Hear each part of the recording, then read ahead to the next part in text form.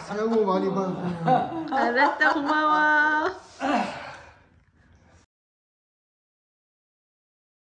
졸업하고 그 중학교 이제 들어가가 장문 시간이 있었는데 어, 어, 예를 들면 국민학교 때는 어. 친구들과 아, 좋은 친구들과 잘 지냈는데 응. 이제 중, 중학교에 와서 다 헤어졌다.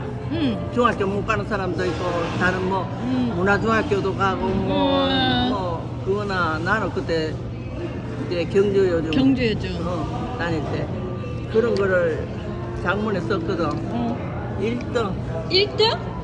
그래 장문도 잘하지 음, 노래를 97점 받았다 내 노래 못하잖아 97점이나 맞았대 아빠. 딴 사람 저보다 100점 맞는데 97점 맞아요. 뭐라고? 딴 사람 저보다 100점 맞는데 97점 맞았으니까 뭐 이렇게. 오래니도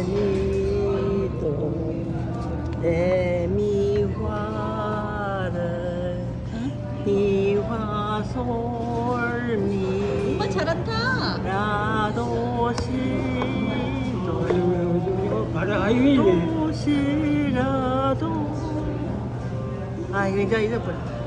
도, 아빠가. 아빠도 공부 잘했다는 뜻이야. 알았다. 학교에서 몇 등이었어요? 학교 있을 때 하잖아 항상 1등 했다니까. 거짓말 요만큼 나와 아 1, 2, 3학년까지는 일본말을 잘 못해가. 어, 아니야. 한국말을 못해가. 이문학교 다녔을 때가잖아 해방되기 전에 해방되고는 어